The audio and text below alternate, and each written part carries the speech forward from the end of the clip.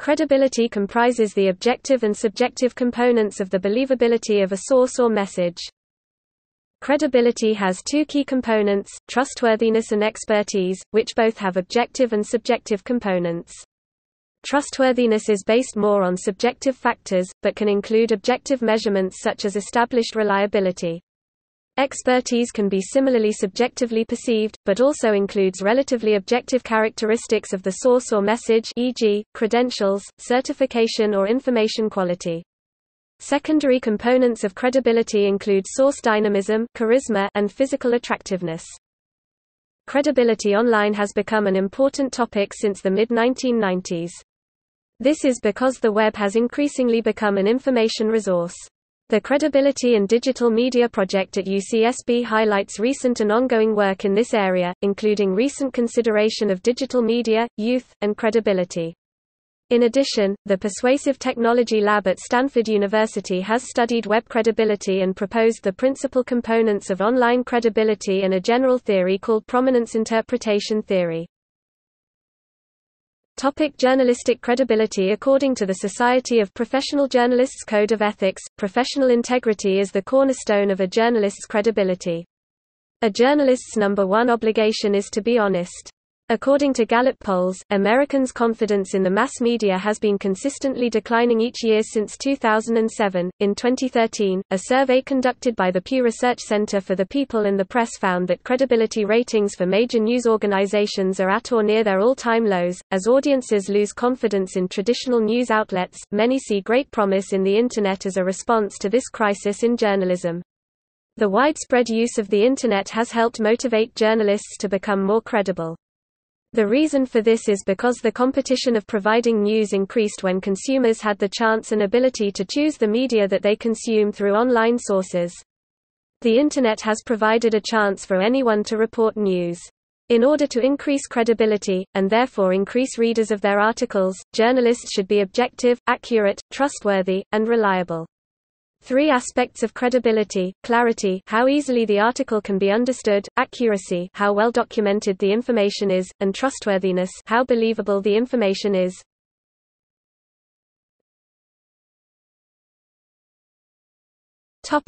Academic credibility.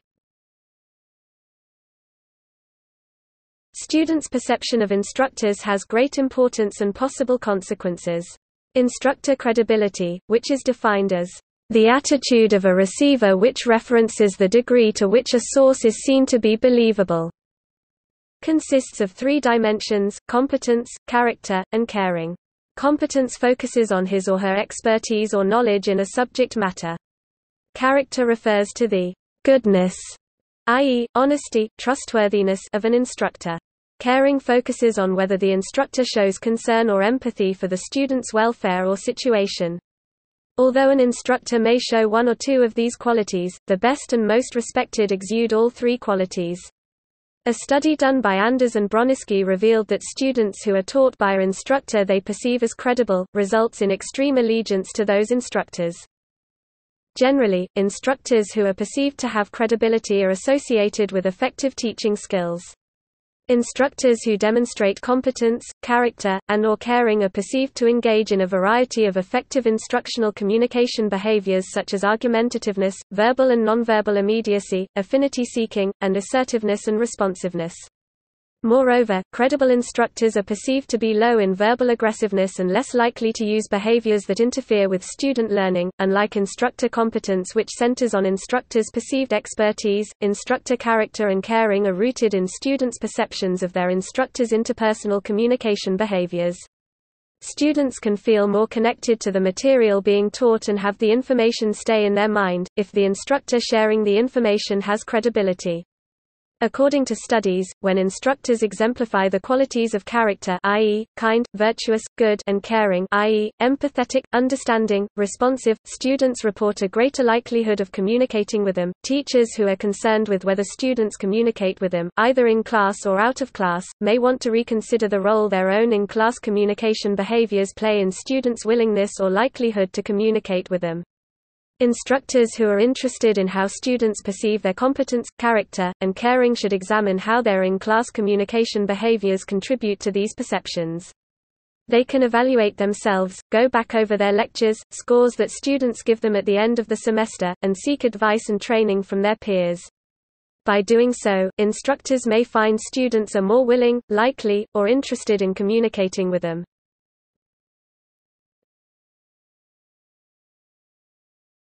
Topic: Scientific credibility. Scientific credibility has been defined as the extent to which science in general is recognized as a source of reliable information about the world.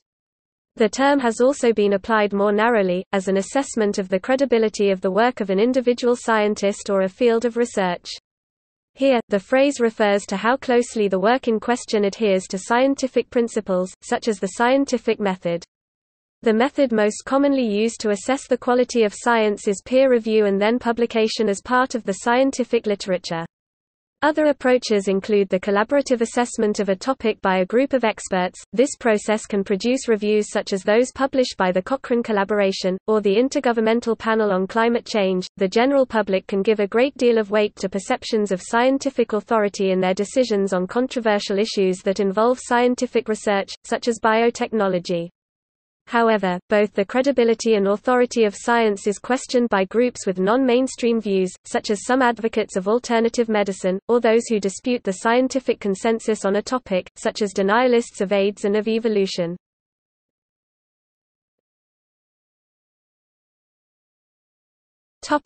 Medical credibility People rely on doctors' expertise to respond to issues relating to their health. Trust in a doctor's credibility is essential to a patient's health. Depending on the patient's trust in the doctor, they will be more or less willing to seek help, reveal sensitive information, submit to treatment, and follow the doctor's recommendations. According to numerous studies, done over 15 years we can conclude that we see a doctor's credibility as having five overlapping characteristics, fidelity, which is caring and advocating for the patient's interests or welfare and avoiding conflicts of interest, competence, which is having good practice and interpersonal skills, making correct decisions, and avoiding mistakes, honesty, which is telling the truth and avoiding intentional falsehoods, confidentiality, which is proper use of sensitive information, and global trust, which is the irreducible soul of trust or aspects that combine elements from some or all of the separate dimensions. In general, it is easy to see what patients are looking for when it comes to a trustworthy doctor and the best way they can have their needs satisfied. There does seem to be a growing discontent with the medical field, however, because of for-profit drug companies that are influencing money behind the medical field. In 2002 a doctor attended the hearings of a drug company that was on trial for the death of adolescents who committed suicide while taking their antidepressants before the hearing studies had been filed with the FDA under the Best Pharmaceuticals for Children Act of 2002. These studies reflected a congressional effort to motivate drug companies to study the effects of medications on children. Since children are a much smaller market for new drugs, the pharmaceutical industry was suspected to not study them as much.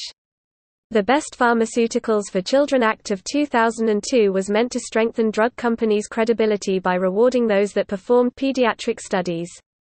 The law, however, did not require these pediatric studies performed to be publicized or published according to a New England Journal of Medicine study. 94% of American doctors have some relationship with a drug or medical device company, including payments but also drug samples and industry lunches, for example.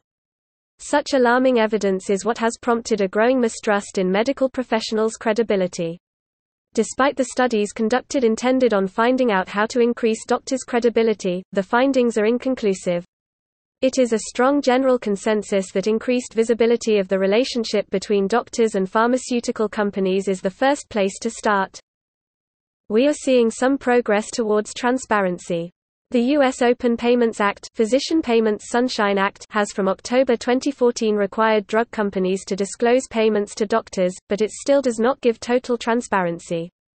There is a long way to go in establishing trust and credibility behind what the doctors recommend to patients. Being honest and showing that they are acting off their expertise instead of motivated by incentives given by pharmaceutical companies.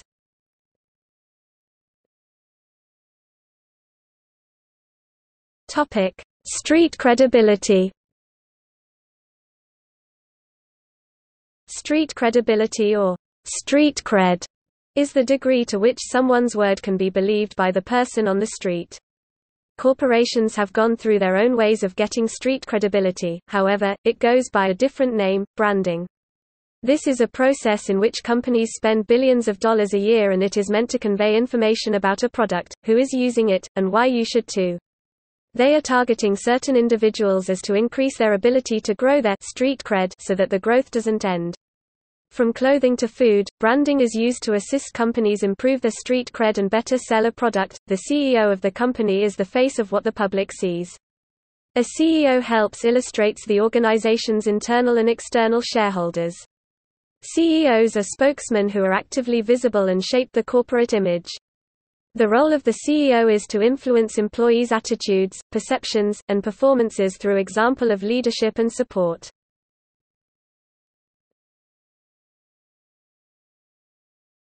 Topic: Business leadership credibility.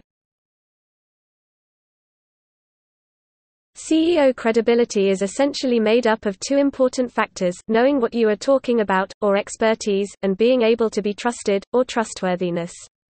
One of the ways that a CEO's expertise is measured is by the way his, her employees perceive them. If the CEO is seen as someone to whom the employees can go to for knowledge and help, this goes to show they have confidence that the CEO holds the skills necessary to help, and is thus valued in their position as such. The extent to which the employee gives their confidence to the CEO determines the CEO's trustworthiness.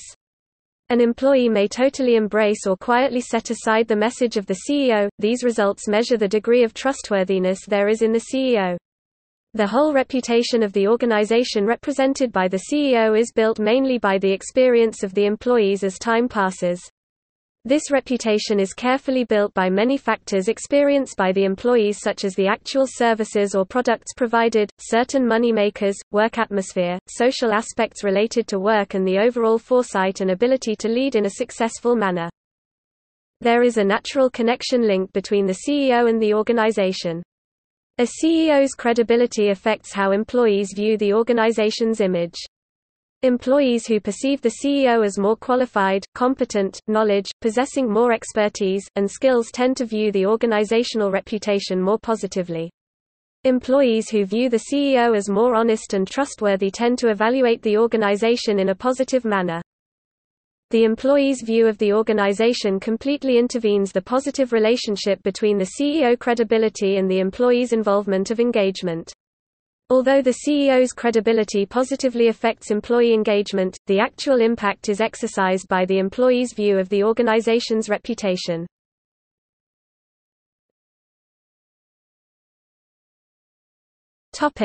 Two-phase model of credibility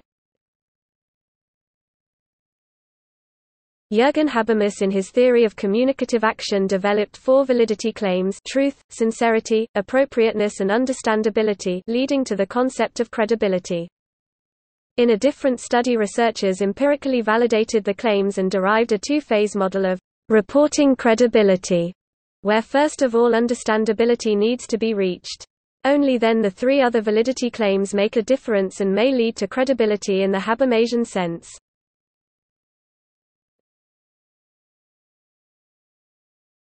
Topic. See also. Center for Research on the Epidemiology of Disasters CRED. Credibility gap. Credibility theory. Credibility thesis.